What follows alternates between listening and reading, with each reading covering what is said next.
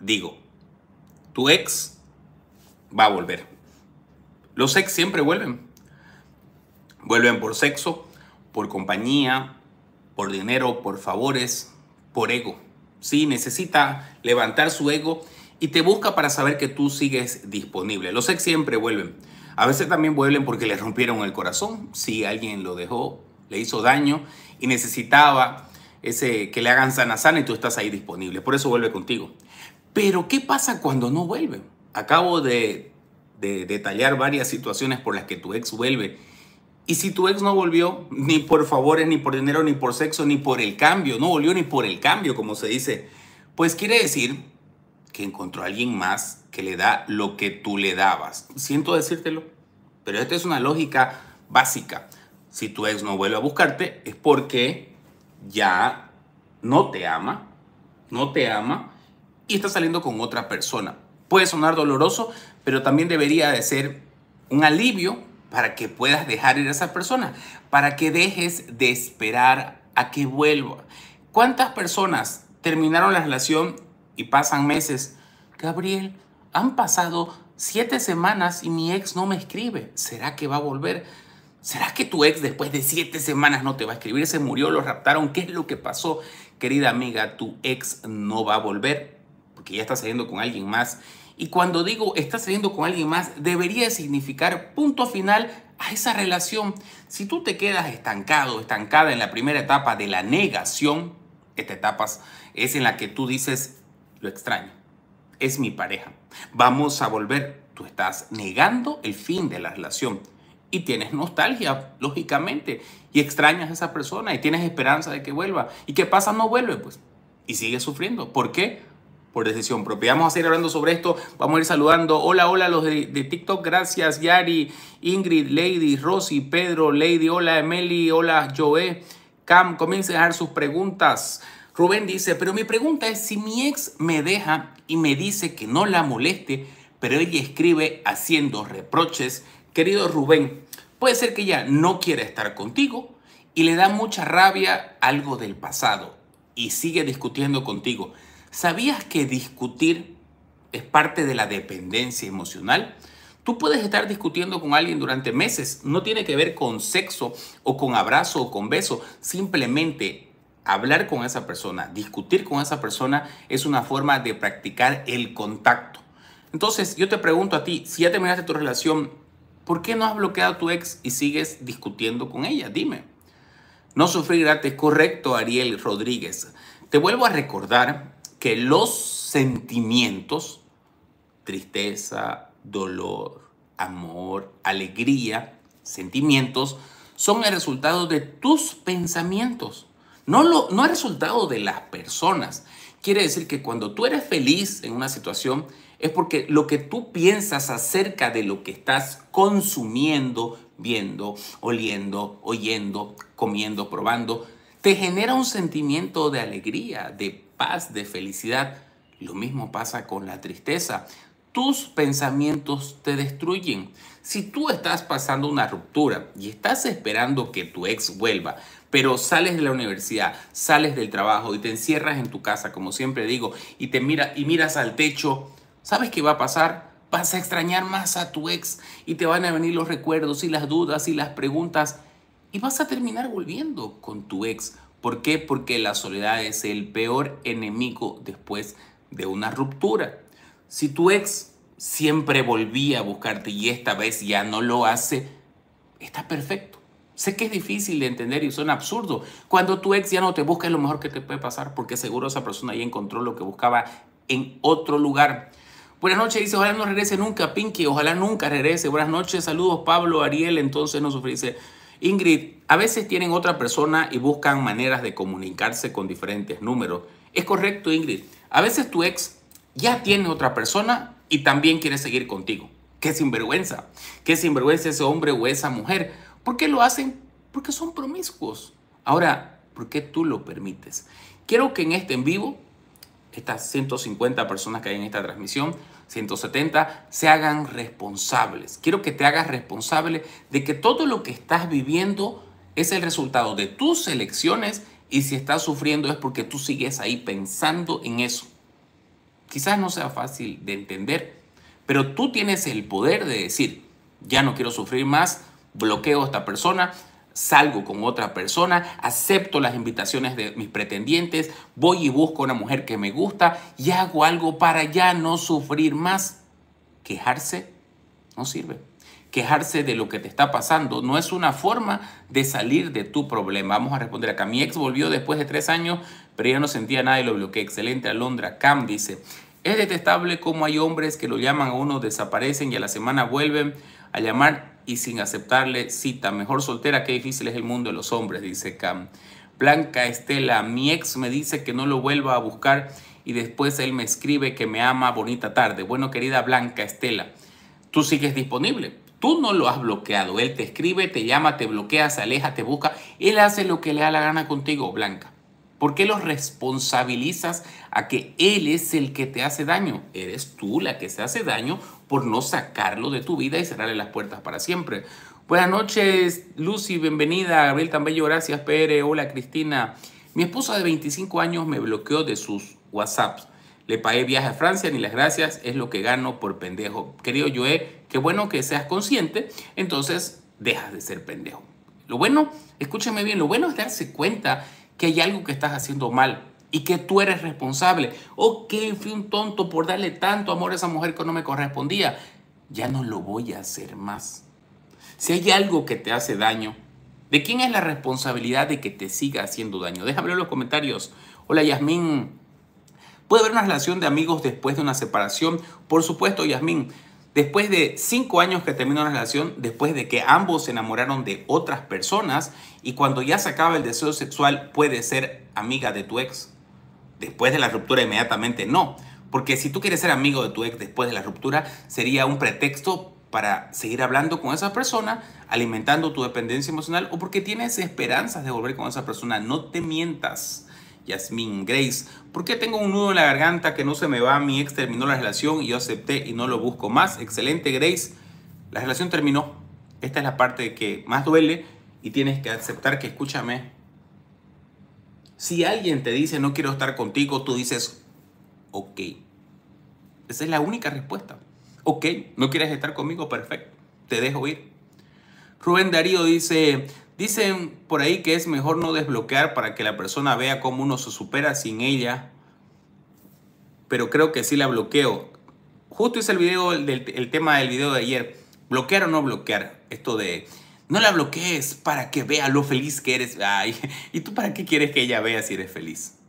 Esta es una fantasía que tú tienes que se va a repetir y que va a ver que eres feliz. Ni siquiera mira tu foto, ni siquiera te stalkea. Ella también es feliz con alguien más y tú andas fantaseando. No, amigo, mejor bloquea y supérale. Verónica dice, yo no comparto eso de ser amigos, creo que hay que tener dignidad. Correcto, Verónica. Tú puedes ser amigo de tu ex, en serio, pero cuando pasan los años, si acabas de terminar una relación donde te hicieron daño, donde no te amaban, donde te mintieron, ¿para qué quieres ser amigo con tu ex? O si esa persona te dijo, ya no quiero estar contigo y tú, pero podemos ser amigos. No, no. Se enojó conmigo solo porque le dije que voy a ir a su boda. Desde ahí el hombre se enojó conmigo. Bueno, querida Dilcia Palma, ¿para qué vas a ir a su boda? Me suena como acoso. Tengo casi 23 años de relación con mi esposo. El año pasado duró tres meses sin hablarme porque le corregí algo que hizo mal, me humilló y me gritó mucho. Querida Emily, de seguro para ti tu vida es tu esposo y tu familia. Y de seguro ya olvidaste lo que es amor propio y dignidad. Eh, espero ni creo que llegue a esa situación porque ya soy bastante grande y no creo que llegue a estar casado 20 años con alguien antes de morirme. Pero entiendo tu situación. ¿Por qué permites que tu esposo de 23 años te haga ese castigo psicológico de no hablarte tres meses? Me imagino que te lo viene haciendo de siempre. Ese es el problema. No creo que después de 23 años por primera vez te haya hecho esto. Yo creo que ese hombre es un abusivo psicológicamente contigo y te hace ese castigo. Y esa es una muestra porque ninguna persona que te ame te va a quitar el habla. Alguien que te ama se enoja un día y mañana se le pasa. ¿Por qué te ama? Mira, mira, escucha, te peleas con tu pareja, discutes, digo pelear, discutir, digamos, y no te habla por un día, ya. Al otro día se le pasa el enojo. Y te dice buen día, mi amor, porque no puede estar enojado contigo. Es tu pareja, te ama, van a tener relaciones sexuales, siguen viviendo juntos. Pero alguien que te castiga tres meses sin hablarte, ay, o sea, no lo sé por qué lo hace, pero te aseguro que no te habla. Hola Cecilia Ceja, dice, extraño esa persona, él me dejó y eligió también no volver. Pero me molesta que él lo tome tan tranquilo. Yo estoy lidiando con los problemas de nuestros hijos. Querida Cecilia, él está súper tranquilo porque se liberó de ti. Te voy a decir algo muy doloroso. Él no te amaba y se liberó de ti. Ahora es feliz, encontró la paz. De seguro está chateando con otra mujer y pronto tendrá su nueva novia y será feliz. Tú no lo estás pasando muy bien. ¿Por qué? Porque quisieras volver con él. Volvemos al problema de todas las situaciones. No aceptas el fin de la relación y eso es lo que te duele. Ya no hay más futuro, Cecilia. No vas a volver con él. ¿Qué harías si supieras que nunca más vas a volver con él? ¿Seguirías sufriendo si ya sabes que no vas a volver con él? Gaby dice, hace dos meses terminamos una relación. Todos, todos los días me, me terapeo de que él no me merece y que me lastimó, que él no es bueno en mi vida, pero hoy sentí ansiedad, no lo busqué. Querida Gaby, sigue firme en no buscarlo. Maite dice, mi ex me tiene bloqueada pero cuando él regresa y me desbloquea, yo lo agarro a cachetada para que se haga hombre. Está buena, Maite. Al final decidí separarme porque ya no aguanto el abuso y nunca quiso, a ah, que bueno, irse de la casa, pero nunca se sentó a hablar conmigo para darle un término cordial. No hay finales felices, amigo, amiga. No existen divorcios a las buenas. Eso solo sale en las películas. Que te vaya bien, a ti también te deseo todo lo mejor, te amo y un abrazo y cada uno se va. No existe eso. La vida real es totalmente distinto. En la pared tienes a Rocket. Saludos, Alexander. Gabriel, la pancarta que pones, las letras se ven al revés. Lo siento, quería Pinky. Sí, lo que pasa es que están al revés, justamente porque, porque cuando hago los en vivos en, en TikTok lo tengo como espejo. Entonces, bueno, significa no te ama. ¿Sabe qué significa así? Mónica dice, me dejó hace seis meses, enseguida tuvo una relación nueva, apareció por mensaje porque yo lo ignoré, dijo que quería que yo lo busque, no antes nada, ni correcto, Mónica. Mejor es bloquear para que esa persona no vuelva a jorobarte. Saludos, Andrea NL, dice Gaby López, mi ex me aplicaba de castigo la ley del hielo. Es horrible y siempre era yo el que lo buscaba hasta que dije, ya no más. Gracias, Gaby, porque esta es la frase que te libera. Ya no más. Y tienes que decírtela tú mismo. Cuando tú estás en una relación tormentosa, en una relación tóxica donde te hacen daño, la única forma de salir de ahí es diciendo, ya no más. Esta es la frase que dice un adicto cuando quiere dejar de consumir una droga. Ya no más. Ya no más esta droga. Es ahí cuando recibe un adicto puede entrar a un centro de rehabilitación, cuando puede sanarse Después pueden obligar a un adicto a que deje la droga, luego sale del centro corriendo a comprar su droga. Esto pasa con la dependencia emocional. Tú quieres dejar a alguien, pero no puedes dejar a esa persona. Entonces, ¿de qué te sirve bloquearle si le extrañas? ¿De qué te sirve ver 800 videos, leer libros? Pero tú quisieras volver con él. Tú no has dicho ya no más. Y esa es la frase que deberías de repetir ya no más y te va a ayudar a soltar y dejar ir a quien no te conviene. Saludos Omar. Argentina, saludos Silveria. Verónica dice, alguna vez le pregunté a mi abuelo por qué no es bueno regresar con el ex y me dijo, si sales a caminar al bosque y te encuentras con el mismo árbol, estás perdida. Correcto, querida Verónica, estás dando vueltas. Me fue infiel después de 20 años de casado, me divorcié, dos hijos y gracias a Dios salí de eso, soy feliz y lo bloqueé de WhatsApp y se puso intenso y le dije, si quiere también te puedo bloquear por texto.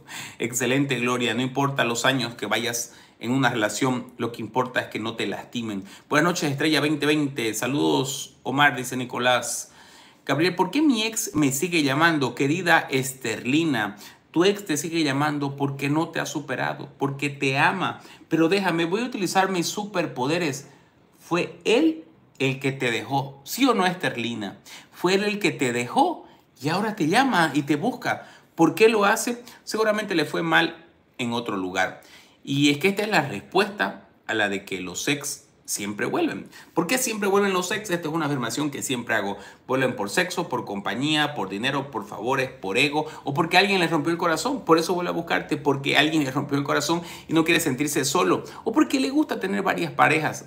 Pero ¿qué pasaría si tu ex ya no vuelve a buscarte? ¿Sabes qué pasaría? que todo salió perfecto, porque esa persona ya encontró lo que buscaba en otro lugar y te está liberando. Siempre pregunto a mí misma, ¿te mereces esto? Excelente. Mi ex volvió a buscarme después de tres años. Ahí se borró. Yo la dejé a mi ex hace seis años y aún pienso en ella. Hace cuatro años. Ay, querido, querido Nicolás. Pedí para volver y me dijo que no. Querido Nicolás, dignidad, amor propio. Qué bueno, Estelina, que tú lo dejaste. Pero tú lo dejaste, pero no lo has bloqueado porque él sigue buscándote. Ese es el problema.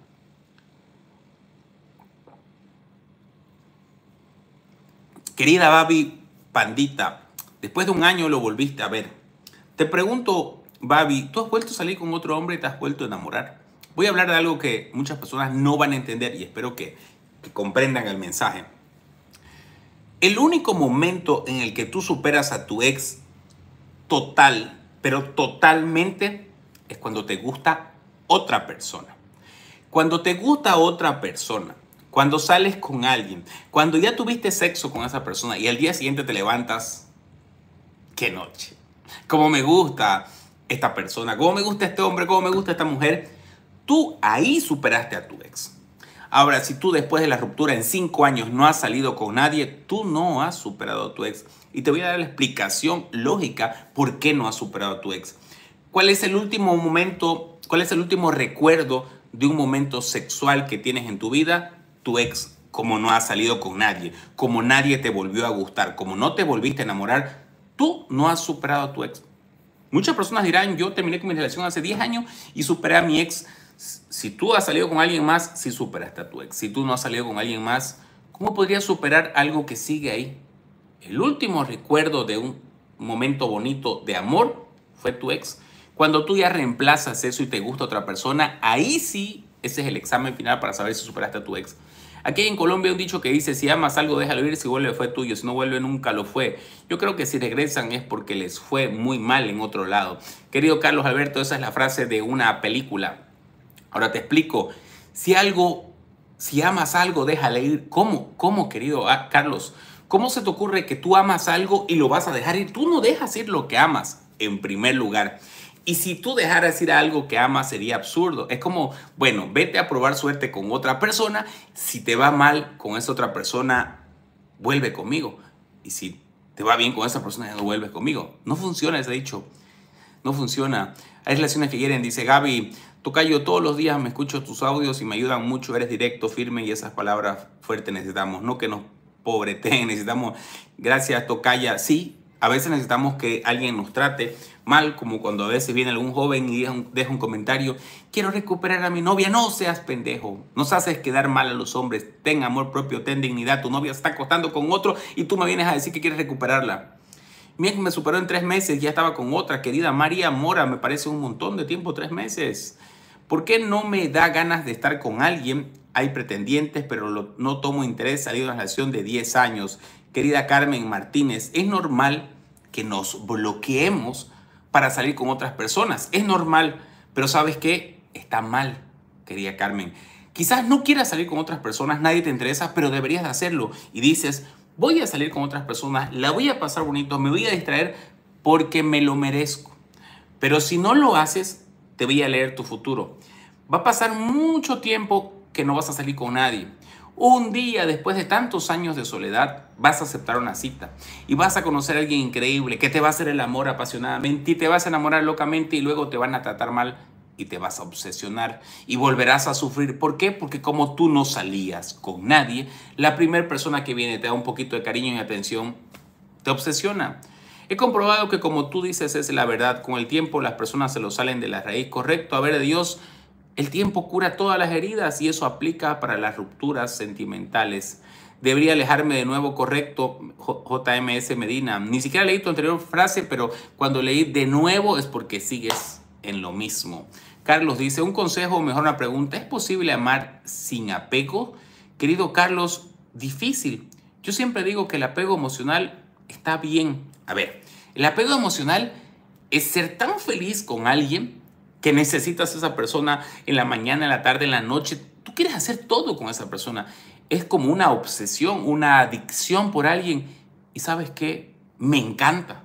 Yo quiero que mi pareja tenga apego emocional por, por mí. Yo también tengo apego emocional por esa persona. Nunca la engañaré, porque no existe nada más lindo que mi pareja. Y mi pareja tampoco nunca me engañará. Esas relaciones son hermosas. El problema es que si tú tienes apego, dependencia emocional por alguien que no te corresponde, por alguien que no te ama, que te utiliza, que te engaña, vas a sufrir. O sea, el apego creo que funciona cuando es de ambas partes.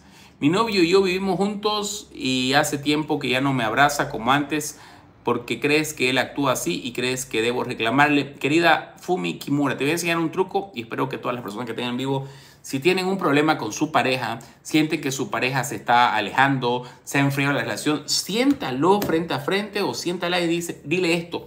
Mira, creo que tú no me amas, eh, deberíamos de separarnos.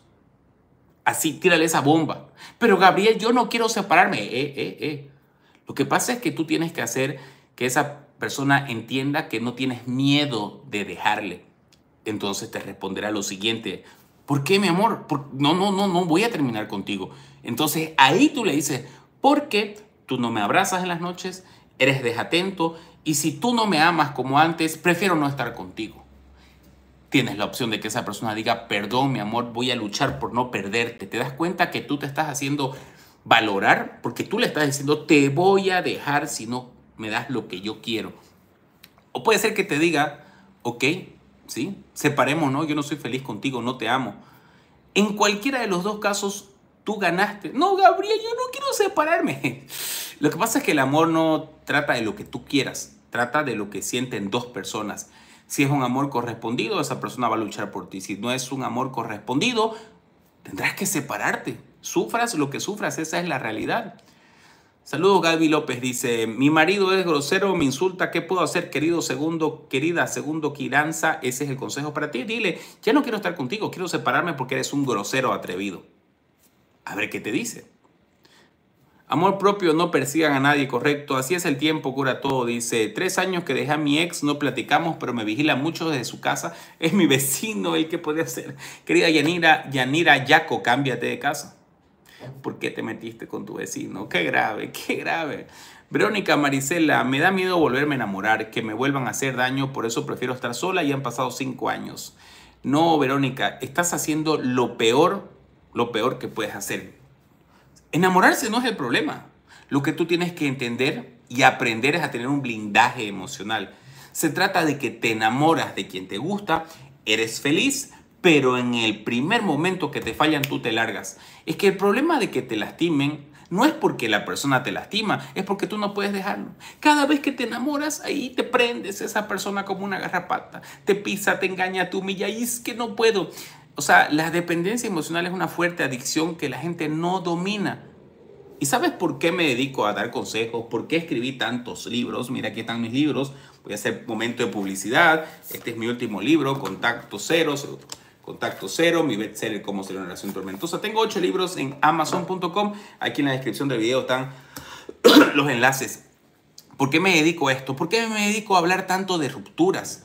Porque yo soy una persona que tiene problemas de dependencia emocional. Cuando alguien me gusta, ay, cuando me enamoro, ay, quiero casarme, la amo, la adoro. Y antes no podía manejar esto. El día de hoy sí sé cómo manejarlo. Amo intensamente, me obsesiono con esas personas, lo acepto. Sí, me obsesiono. No pueden salir de mi mente. Pero si me hace daño, si me miente, si de alguna forma me va a lastimar en el futuro, yo sé que ahí no es. Yo ya sé que viene. Soy responsable de que si me quedo ahí, me van a hacer daño. Entonces aprendí a manejar mis sentimientos. ¿Qué se llama eso? Madurez emocional. ¿Por qué? Porque yo sé que lo que me va a hacer daño no tiene que estar en mi vida. Vamos a ver ahí. Me da miedo volverme a enamorar, dice, perdón, perdón. ¿Qué pasa si ya pasó mucho tiempo y ni un solo día me ha dejado de doler? querido Santiago, si ha pasado mucho tiempo y sigues sufriendo, te voy a decir qué es lo que tú haces. Siempre estás solo, estalqueas a tu ex, piensas en tu ex, recuerdas lo que tenías con tu ex y eventualmente quizás hasta te masturbas pensando en tu ex. O sea, tú sigues viviendo lo que ya no tienes. Sigues consumiendo tu droga de alguna manera y por eso te duele. No dejaste ir porque tú ya debías haberte enamorado de otra persona, ya no deberías ni de hablar de esa persona. No hay un día que no me duela. Tú practicas en extrañar a esa persona que te dejó, o no sé por qué terminó tu relación. Gabriel, ayúdame, mi ex me pidió un juego que me prestó, un juego que me prestó y traté de mandárselo con un primo y se está burlando de que tengo miedo de verla y yo la verdad no quiero verla ni acercarme a su casa. Querido José Daniel, eh, bueno, ¿Qué te importa? Mándale el juego, fin de la historia, no hablas con ella ni con nadie. Se está burlando de ti, que se burle, dices. Wilmer, ¿cómo superar una infidelidad estando conviviendo con la pareja? No se puede, amigo. ¿Tú podrías vivir con un estafador? Alguien que te robó mucho dinero, alguien que te dejó en la calle, alguien que te hizo daño y tú podrías seguir siendo amigo de esa persona y convivir en la misma casa, pero es por los niños, no, no. Cuando alguien te engaña, acaba de traicionar tu confianza, falló en la relación, ¿por qué seguir con esa persona? Dame una razón para seguir. Es que no podemos salir de la casa por un tema económico. Ahí está bien grave. Lo que tienes que preocuparte es por trabajar más para poder salir de ahí, alejarte de esa persona porque superar una infidelidad y seguir viviendo con esa persona es muy difícil. No nos damos cuenta de la red flag y seguimos, seguimos tolerando malos tratos. Así mismo, Gaby. Gracias a Dios y a tus videos me ayudaste. Qué bueno, Susi. José dice, recién termino esa relación y tampoco quiero entrar en conflicto con ella porque no se puede. Es muy explosiva. Querido José, devuélvele todo lo que tengas de ella, bloqueala, punto final, no la conoces. Hola, yo hace dos años que terminé con mi ex, cada vez que estoy con alguien me sale su nombre sin pensar. Querida amiga, tienes una fuerte obsesión, conozco varias personas que hacen eso y meten la pata. Lo que pasa es que tú tienes que realmente dejar de pensar en tu ex. Tú piensas en tu ex y es por eso que lo nombras sin querer. Saludos, Leo 380. Si yo no pienso en esa persona, ¿será querida te amo que no piensas y de la nada lo nombras? Tu inconsciente está tan arraigado ese nombre en tu inconsciente. Una amiga me preguntó que si haría un trío con ella y su esposo. Yo tengo pareja y pues le dije que no, pero me lo sigue proponiendo. ¿Qué hago? Solo dice que es para experimentar. Querido Israel, qué desastre. O sea, a ver, qué desastre que tengas que acostarte con su amiga y con su esposo. O sea, eh, creo que no es tu amiga en primer lugar y ¿qué te puedo decir, Israel? Tú tienes pareja. ¿A tu pareja le gustaría? ¿Le consultaste a tu pareja eso? El sentimiento es un hábito que formamos, entonces no, calmita. El sentimiento es el resultado de un pensamiento. Cuando tú piensas en algo, te genera un sentimiento, alegría, tristeza, lo que tú quieras. Ahora, lo que es un hábito es la dependencia emocional, es una adicción. Se te hace un hábito ser feliz con alguien, verla todos los días. Eso es un hábito. He aprendido a amarme, lo, extraño, pero más linda es mi paz. Qué bueno, Marilene. José Ariel dice, le dejo el juego por debajo, correcto. Y después de eso la voy a bloquear mejor. Empecé una relación a distancia con mentiras si nos enamoramos y si le digo la verdad me dejará, dice. Prefiero renunciar antes de, que él me odie por mentir. Si quería Melissa, haz lo correcto. ¿Por qué? ¿Por qué mienten? Tengo una pregunta. Hay 500 personas. Por favor, quiero que me respondan esto. Hombres y mujeres. Estás conociendo a alguien y esa persona viene y te pregunta, ¿te acostaste con fulano de tal? Y tú sí te acostaste con esa persona. ¿Dirías la verdad o mentirías? Déjenme en los comentarios. Voy a responderles por qué hago esta pregunta. Si viene una persona con la que estás comenzando a salir, tu nueva pareja te pregunta, ¿te acostaste con alguien, con fulano de tal, alguien que te dice nombre y apellido? Tú dices, no, mentirías para no aceptar o dirías, sí, me acosté con esa persona. Los leo, los leo. Comencemos a leer esa pregunta. Yo la verdad diría la verdad. Qué rico es todo, dice Gloria. Muchas gracias por leerme, Gabriel. Saludos, José Daniel, Lupita. Guadalupe Polanco, diciembre, no sé qué ahí. Ahora me doy cuenta que mi ex es promiscua, dice. Sonia, si sabes cómo salir pero no quieres, prefiero decir la verdad, la mentira se cae sola. Miren, la mayoría de hombres eh, vamos a decir la verdad. En serio, el hombre va a decir la verdad. La mayoría de mujeres no van a decir la verdad. No, no lo conozco. No, nunca me acosté con él. Y esto, ¿por qué tocaba este tema? Esta es la razón porque fracasan muchas relaciones. A veces el hombre pregunta esto y la, mujer lo esconde. Por vergüenza, sí, no, no, no, no, no lo conozco. O sí, salí con él, pero no pasó nada. Y si tu pareja en el futuro encuentra que sí pasó, tú mentiste, tú engañaste y clavaste una espina en esa persona. A mí también me lo han hecho. Saludos de Charlotte, dice... Hola, es la primera vez que te miro y si tienes mucha razón, yo regresé con mi ex, pero él me engañó y pues la desconfianza la perdí y es difícil vivir así. Quería leer, Alicia, bienvenida, bienvenidos a los que se conectan a este en vivo por primera vez. Mi nombre es Gabriel Arana, soy escritor, autor de ocho libros y la mayoría de mi contenido está relacionado con dependencia emocional. ¿No será que responderá su ego de hombre el preguntárselo por no querer humillarse él? Dice Fumi, ¿No será que responderá su ego? No entendí. Yo amo hasta que me ama. Desde que me doy cuenta que las cosas cambian, no puedo amar ni querer a quien no me ama. ¿Correcto, Loria? El amor no es incondicional. No existe el amor de pareja incondicional. Si alguna vez lo escuchaste, es mentira. No puedes amar a alguien que no te corresponde.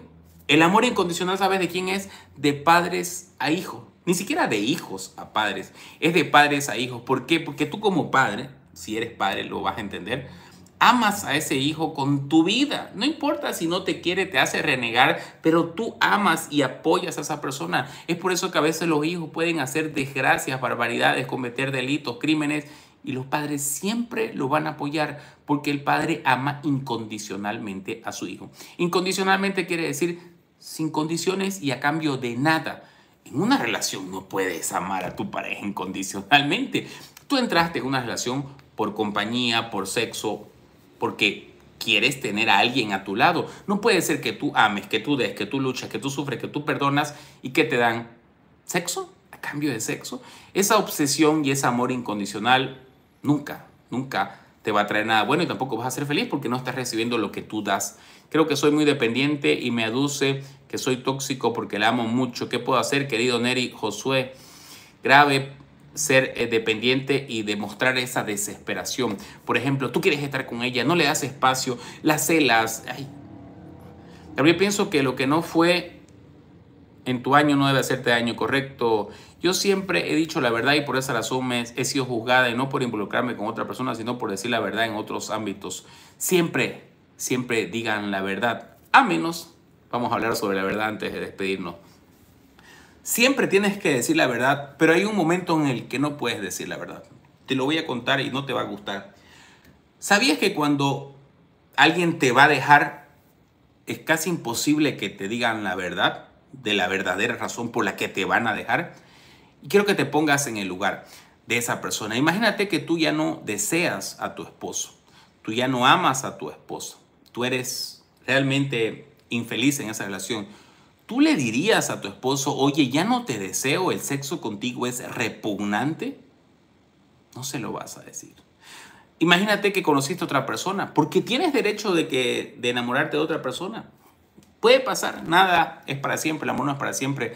Tú le dirías a tu pareja, oye, ya no quiero estar contigo porque me gusta mi compañera de trabajo. Ya no quiero estar contigo porque voy a comenzar una nueva relación. Es por eso que cuando alguien te deja, nunca preguntes la razón o motivo, porque siempre te van a mentir. Ese es el único momento que esa persona puede mostrar hasta compasión contigo. Ahora, hay otras situaciones en las que te dejan y te cambian la, la, situación en tu contra, ¿no? Y eso es manipulación. Te dejo porque me hiciste esto, porque tú nunca me diste. Y, ese no es motivo porque te dejen, te pudieron haber dejado en el pasado. En realidad están saliendo con alguien más, pero utilizan ese pretexto. Eres un chingón, ojalá pudiera conocerte. Saludos, Santiago compraré tus libros y ojalá, gracias Santiago, si compras mis libros, los enlaces están aquí en mi perfil. No te olvides de dejar una valoración en Amazon. Exacto, Ariel, yo lo dejaré y le diré que no estoy lista para una relación a distancia. Jamás le diré que por qué yo mentí. Pues es así, cuando tienes que dejar a alguien no vas a decir la verdad, lamentablemente. Todas mienten, dice Ariel Rodríguez. No, te, no odies a todas las mujeres, no todas mienten. Mienten todas las que has conocido o todas las que tú elegiste. Buenas noches, yo sigo detrás de mi ex y no sé cómo apartarme, no puedo, me cuesta. Querida Rosa Pérez, te invito a que veas videos de este canal. La mayoría están enfocados en la dependencia emocional, el apego te va a ayudar mucho en este proceso de superar a esa persona. No solo veas los videos, acaso lo que dicen los videos. Si dice contacto cero, aplícale contacto cero. Ahora te enseño un truco. Para dejar ir a alguien, tienes que aceptar que esa persona no te conviene o no te ama. Pero si tú quisieras tenerle, pero quieres dejarle, Ponle coherencia a lo que estás haciendo. Quiero dejarle, pero no puedo porque lo amo. Entonces, o sea, ¿cómo vas a dejar a alguien que amas? El tema es que cuando tú ya no quieres esa persona en tu vida, es mucho más fácil superarle. pero cuando tú quisieras estar con esa persona, nunca vas a poder superarle. Voy a repetir, dice, en dos años puedes dejar de amar, querido, te amo, en una semana se puede dejar de amar, el amor se acaba. A mí me pasa que cuando topo a mis ex mencionan mi nombre en su relación, yo les digo entonces, ¿cómo me dejaste ir? Saludos, Gabriel. Al fin pude conectarme en un vivo saludo del Salvador. Saludos, Porfirio. Me dijiste que lo sentara y le preguntara si me sigue amando, pero ¿será que en realidad me contestará con la verdad o solo será su ego quien responderá para no quedar humillado? Pero querida Fumi, tú sientas a esa persona, le dices que quieres terminar la relación porque no te ama y te dirá que te ama, pero luego verás su comportamiento y tú ya sabrás si te ama o no te ama. La pregunta es una forma de presión. Sentar a alguien y decirle, oye, ya no quiero estar contigo me cansé de que me trates mal, me cansé de que me mientas, esta relación tiene que terminar, es una forma de presión para que la otra persona te responda dos cosas. La primera es que te diga, no quiero terminar contigo porque te amo. Ok, entonces cambia, le dices tú, cambia lo que estás haciendo. No quieres perderme, cambia lo que estás haciendo. O quizás esa persona te diga, ok, pues terminemos. Te das cuenta que no le importas. Ahora sí, me voy a despedir hablando sobre los ex siempre vuelven. Pero ¿sabes qué? mejor que no vuelva. Porque si tu ex no volvió, es porque encontró lo que estaba buscando en otro lugar. Y no quiere decir que te reemplazó, que te dejó, te abandonó. No, no lo tomes desde esa perspectiva. Entiende que quien no te ama no tiene que estar a tu lado. Lo mejor que te puede pasar es que esa persona se busque a alguien más. ¿Te va a doler? Sí. Te va a doler. Grita, llora, zapatea, haz lo que tú quieras. Pero déjale ir. No te ama no te conviene. Te recuerdo que tú vales mucho, que eres una persona maravillosa y todo ese amor que tienes para dar no lo merece esa persona que no quiere estar contigo. En cualquier momento vas a conocer a alguien que sí te ame de verdad, alguien que se enamore de ti, que te cuide, que tenga miedo de perderte. Escúchame bien, esta parte es tan importante. Que tenga miedo de perderte. Quiere decir que te valora, que eres importante en su vida. ¿Por qué? Porque tú te lo mereces. Que tengas un lindo miércoles. Nos vemos viernes.